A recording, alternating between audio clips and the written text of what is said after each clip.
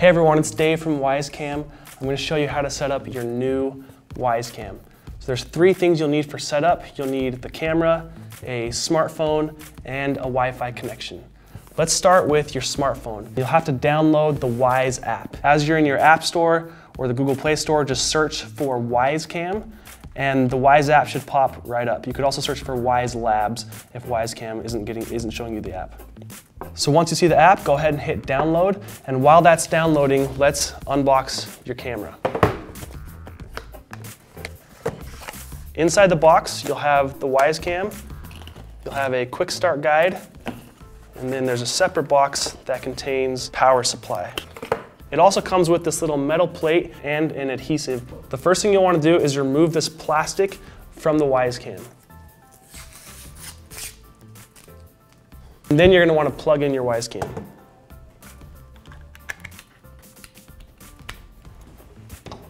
There's an LED light on the back of the camera that should be a solid yellow when you first plug it in. This is telling you that the camera is warming up. Wait till there's a blinking yellow light before you begin setup. So while we're waiting for that blinking yellow light, let's head back over to your app.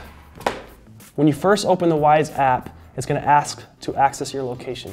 This is 100% optional, it just helps our engineering team improve performance of Wyzecam. Secondly, it's gonna ask to send you notifications. You do wanna hit allow for this because the only way that the app can send you motion and sound alerts uh, to your phone is if you, if you let it uh, send you notifications. At the very bottom of the app, you hit sign up, uh, once you've hit sign up, enter an email and password and tap next.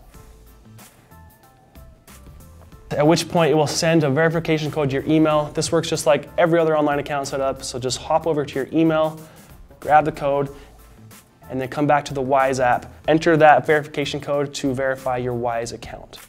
So now that you're logged in, you'll see a large plus sign in the middle of the screen. Press that to be taken into the device setup screen. Now come back to your Wyzecam. Um, on the bottom of the camera, there's going to be a little button. Make sure you push that button and hold it down. Until you hear it say ready to connect.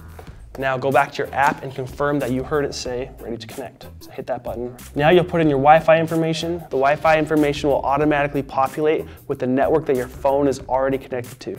Make sure you're connected to a 2.4 gigahertz network. The Wyzecam doesn't work on a 5 gigahertz Wi-Fi network. Double check that you're entering the correct Wi-Fi password and make sure you didn't accidentally enter your Wyze account password instead of your own Wi-Fi password associated with your home Wi-Fi network.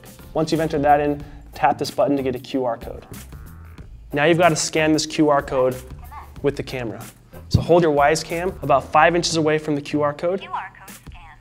Please wait. After it scans, you'll hear it say, QR code scan, please wait. If it doesn't work right away, you can always move it closer or farther away. Try to adjust the distance between the phone and the camera. Um, if it's still not working, try to tilt your phone around to make sure there's no light reflections on the screen. So sometimes you get light reflections that bounce off and block that QR code from the camera and it can't scan it. If the QR code is scanned correctly, you press this button and it'll finish the setup process on its own. The LED indicator on the back should be now a flash between yellow and blue and then it will flash blue, and then it will turn into a solid blue. Setup completed. And then it will tell you the setup is complete. Now you can name your camera. I'm gonna call this Wyzecam Studio. Once you name your camera, hit start, and you should see a little picture of the Wyzecam right there. As soon as you hit that, your camera should go live. And there I am. So now the camera's working, you could mount this to a wall um, with this adhesive. So First thing you want to do is pull off this back tab, place it on a wall, and then pull off this front side like a band-aid. Then take your metal plate, place it right on top of that sticky adhesive, and then your Wyzecam will stick magnetically right on the back. All right, so your Wyzecam is now completely set up. I just want to walk you through a couple settings to help you make the most out of your Wyzecam. So in the top left corner, um, you can toggle between high definition and standard definition. If you have a slow internet connection, I would suggest switching to standard definition. Um, it's going to be lesser video quality, but you're to get a, you're to get a better, more consistent stream. In the right-hand corner, you can toggle your night vision between on, off, or I just leave it on auto. In the very top right corner, you have your settings. I would turn on your motion detection. I would turn on your sound detection. That way, when your camera detects motion or sound, it'll send a notification to your phone. If you put your Wyzecam in a higher traffic area and you feel like you're getting too many notifications, you can go into your notifications, click settings, and then turn off push notifications. Now, if you want to share the Wyzecam with another user, say someone living with you also wants access to the camera, they can download the Wyze app, also make an account, and then uh, you can hit share, share device to other users, enter their email address, and hit invite.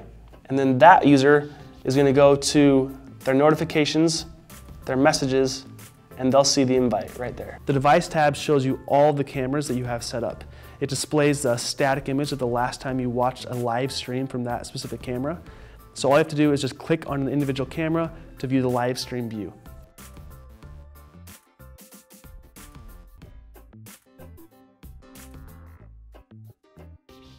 And that's it for setting up Wyzecam.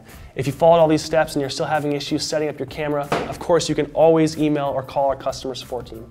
They're waiting and willing to make sure Wyzecam is everything you want it to be. Uh, we're all in on this company. We wanted to blow your mind with how awesome this product is. So please, in the rare circumstance that your camera will not connect, please call us and, and we'll help you, we'll walk you through it. We'll, we have engineers here uh, on hand in, in Seattle, ready to fix your issue. If there's a bug, we will fix it as soon as possible. So we are here for you. We're here to help you. Additionally, we hope you will join our Wyze Fam community on social media. Facebook, Instagram, Twitter, YouTube. Please follow us and continue to give your feedback and support. So uh, thank you so much, everyone. We'll see you next time.